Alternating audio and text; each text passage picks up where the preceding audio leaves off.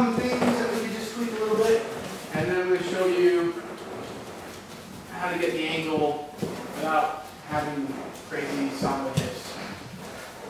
Alright, when I'm doing the move, and I get to here, I don't want to come up on his tricep too much, because then I get, you see, I'm going to have trouble reaching. Right? There is a way to do it when you come up a little higher and go across the neck. Right?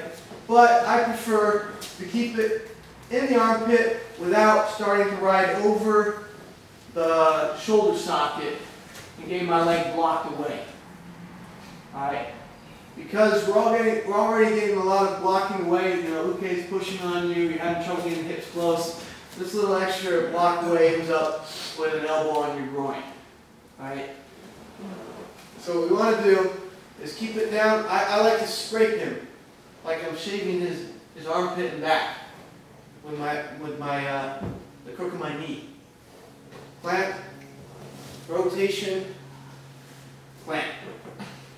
Alright, now we have, we have a question, that was a nice segue into the next thing, which is, I get to here, and he's really far forward, and I'm having trouble, he's got pressure on my leg, what I can do is put the foot out. I'm not going to put it straight in line and then move. I'm going to put it out a little bit. Then, I'm going to go on my shoulders and take my hip off the ground and scoop. Right? Then move my shoulders and foot.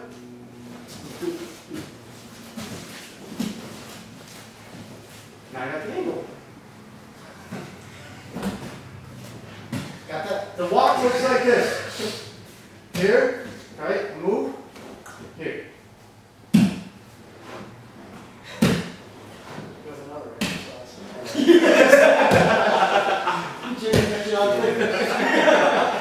All right?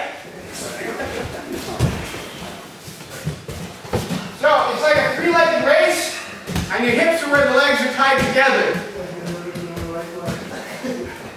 Just shuffle back and forth in your own domain.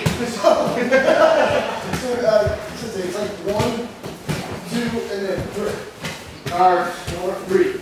Oh, okay, so one, So, this thing, right? I'm here. I'm gonna move this, and the next time I'm gonna move my shoulders oh, and okay, my oh, okay, gotcha, right? Because I only need to do one, so gotcha. I'm not gonna waste energy. So So let's let's do do it, it. okay. Stop, thank you.